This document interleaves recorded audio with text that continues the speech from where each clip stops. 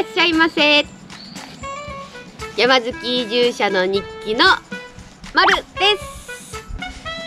今日は伊豆の山全制覇チャレンジ第2弾。ということで家の近くにある、えー、修善寺温泉からすぐ行ける蘭山を目指したいと思います。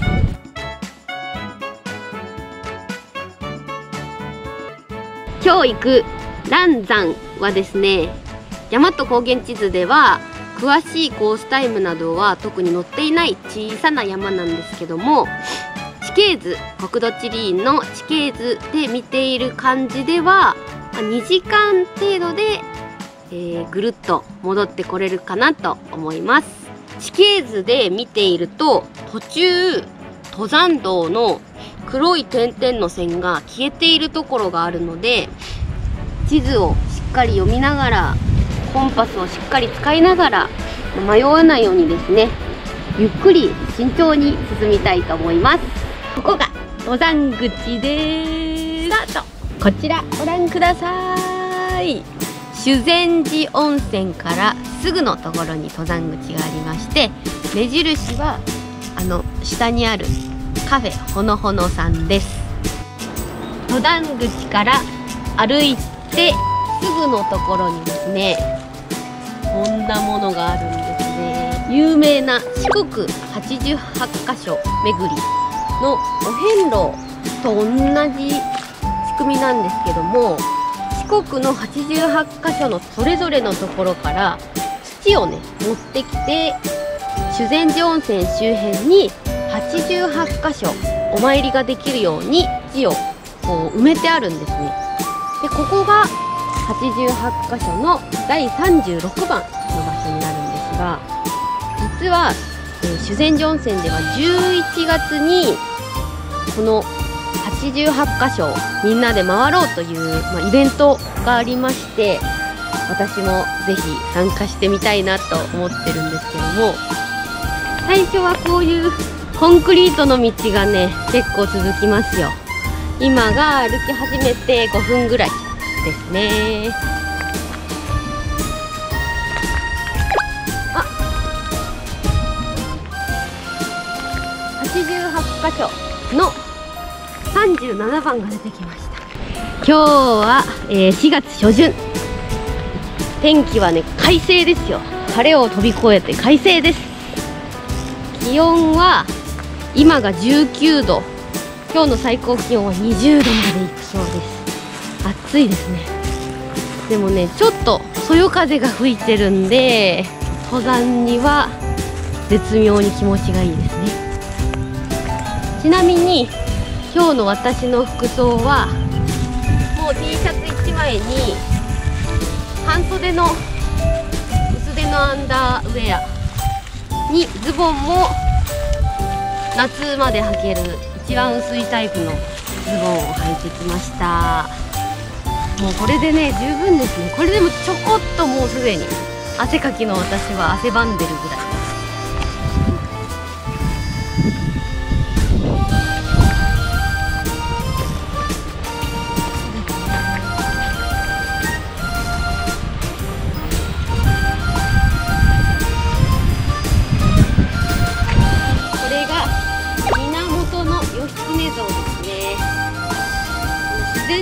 はね結構歴史がたくさん残る町でして石像とお墓とかが各所に点々と残されているんですね次はね南に進みますのでだいたいこっちの方角ですね。この辺はね全然あの里山ですけど下が割と綺麗で歩きやすいですね。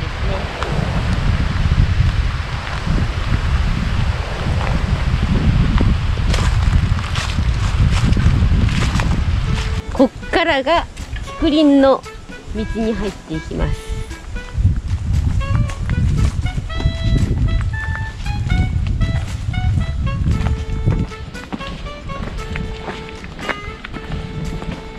こういうね木漏れ日が気持ちいいですよね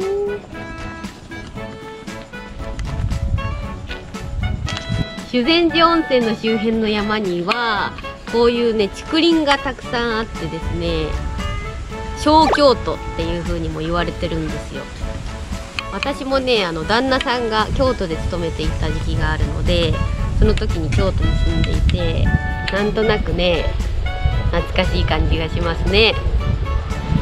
なんか柵がずっと続いてて中に建物がありますよ。旅館か何かに使われてたんですかね。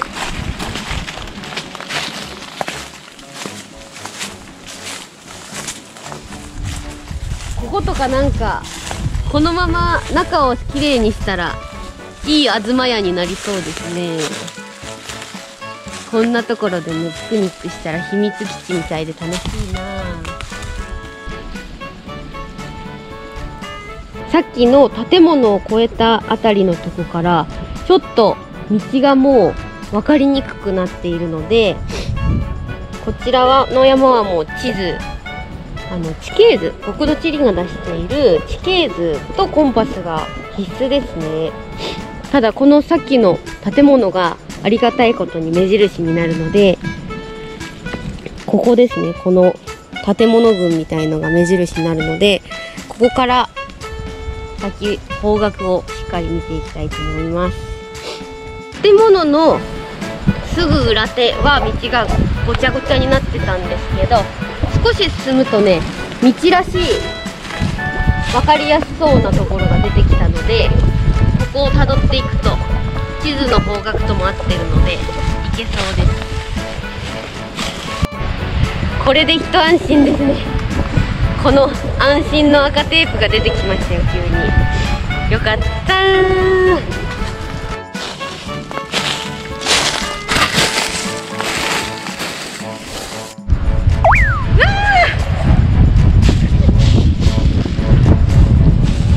風が強い。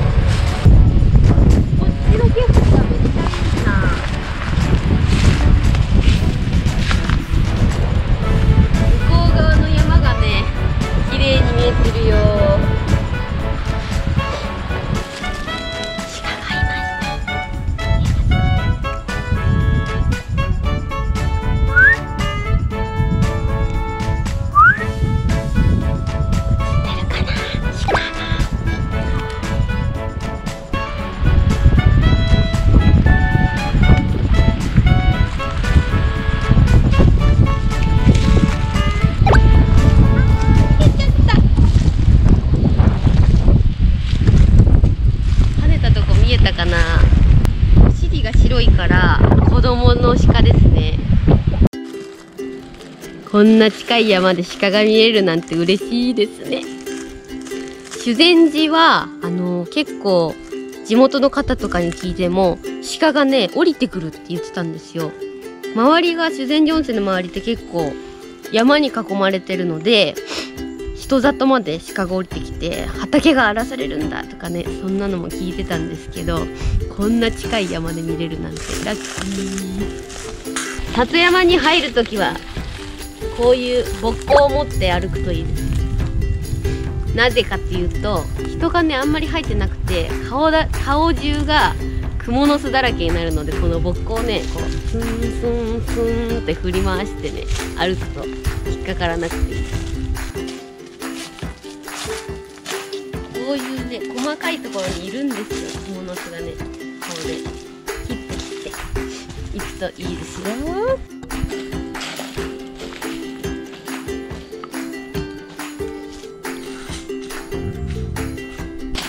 ここはもう木がめっちゃ倒れてますよ。気をつけております。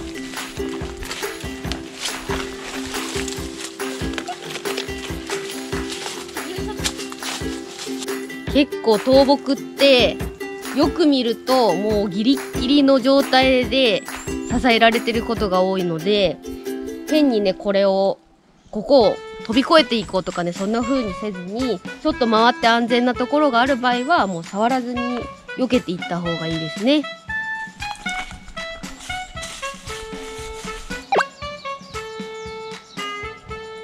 おーちょっとだけ開けた。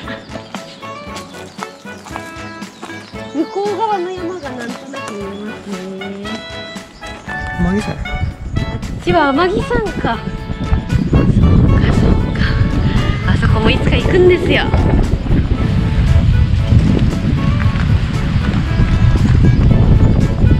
木の間にいると全然風感じないんだけど稜線に出るとね急に風が吹いてくるから。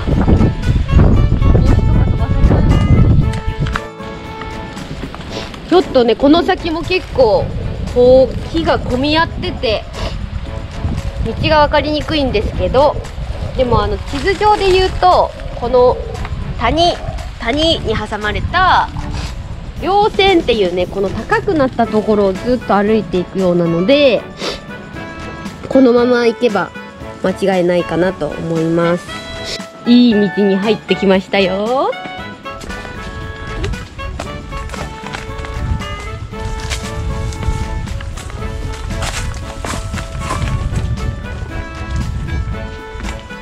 いつもならね走り出しちゃうとこだけど今日はご覧の通り結構根っこがねいっぱい出てる道なんで危ないから歩いていきます。またありましたよこれが。ねテープがね。これが目印ですから。え何言うんだっけ？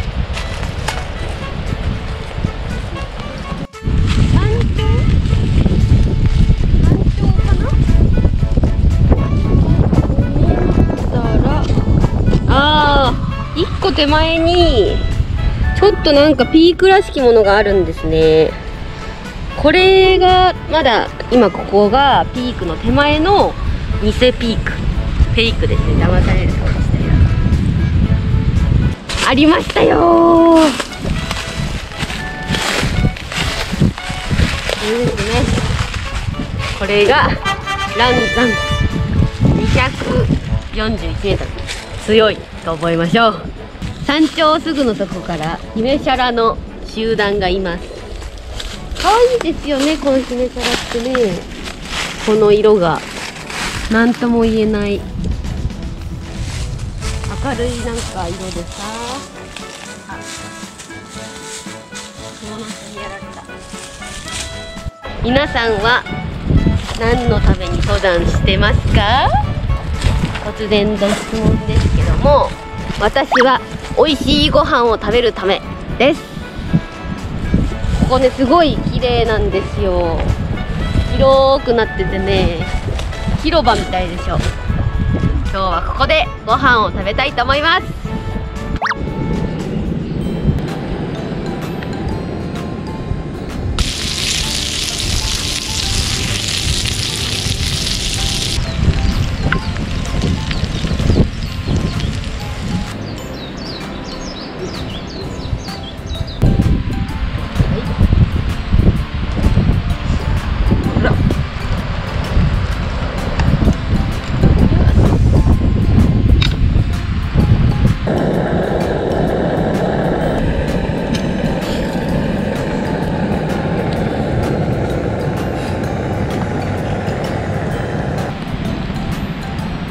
めっちゃ美味しそう。いい匂い。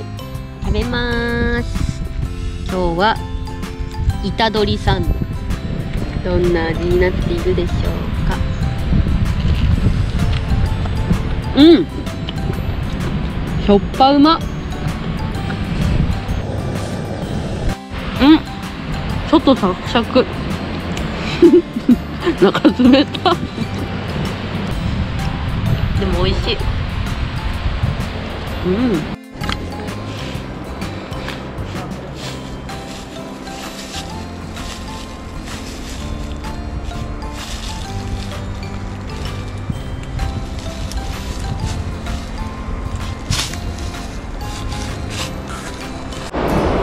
無事降りてきました。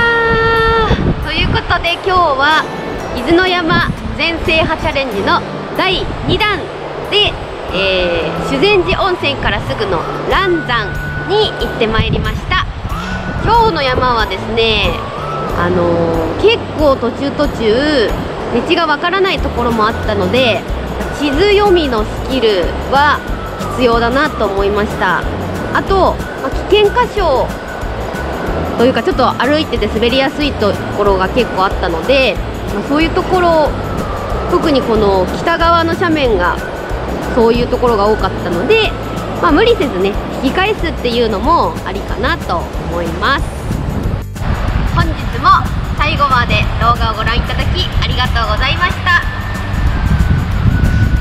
このチャンネルでは登山の綺麗な景色や美味しいご飯道具の紹介や伊豆のいいところを紹介しております。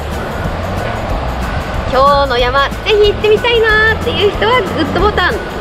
山の綺麗な景色や丸顔のお供をしたいという方はチャンネル登録お願いします。バイバイ。